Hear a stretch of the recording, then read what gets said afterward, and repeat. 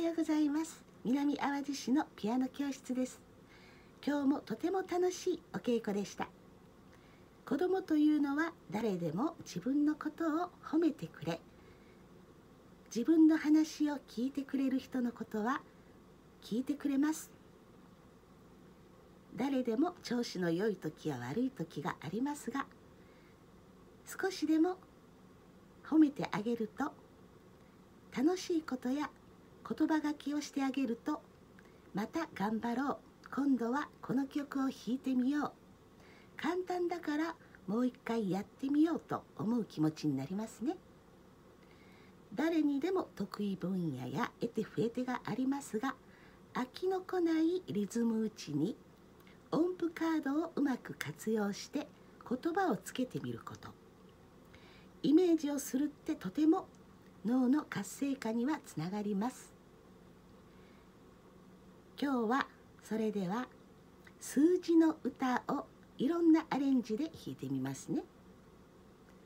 数字を覚えることも英語を覚えることも読譜を覚えることも判知絵やパズルを覚えることもすべて同じです。出来上がるまでのプロセスを楽しむことが一番です。それでは数字の歌をいろんなアレンジで弾いてみますね。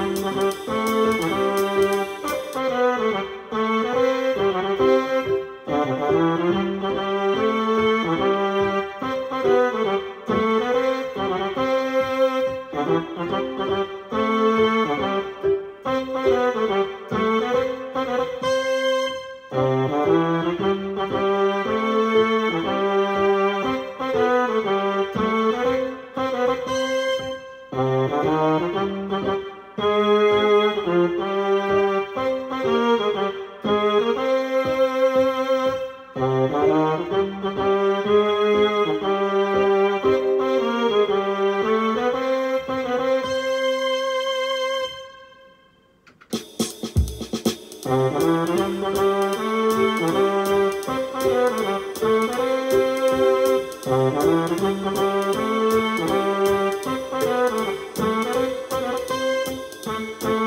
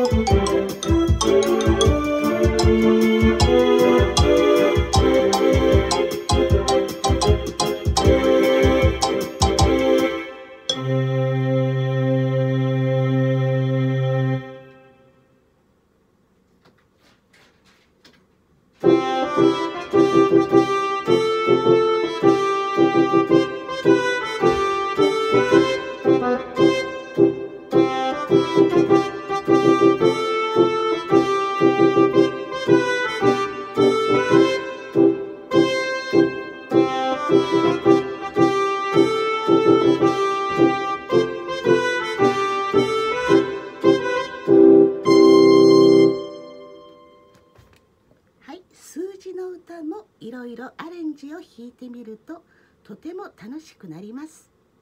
誰にでも得意分野がありますがいつも笑顔で子どもたちの話を聞いてあげることで生徒はどんどんとやる気を高めてまた今度この曲を弾いてみようと先生にもいろんな話を聞かせてくれます。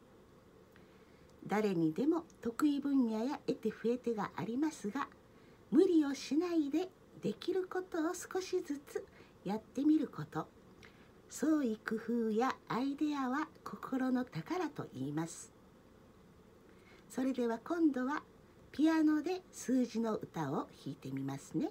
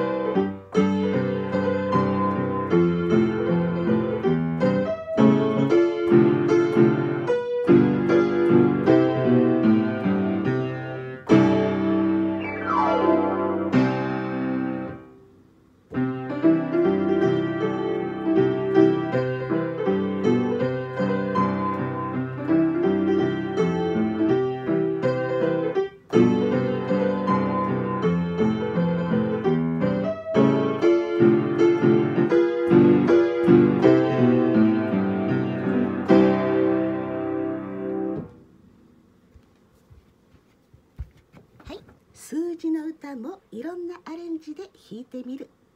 何事もチャレンジしてみる。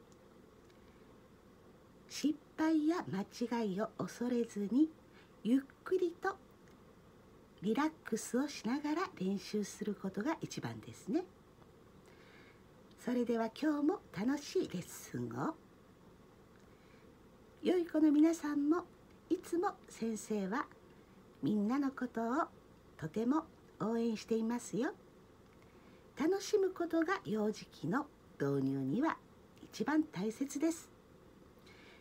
いつも子どもたちの好きな食べ物やペットの名前誰でも自分のことを褒めてもらい話を聞いてもらうと本当に嬉しいものですね。良い子の皆さんも物や人も大切に扱う気持ち最低限の先生とのお約束も少しずつ守るようにしてみてくださいね。それでは今日もまた楽しいレッスンを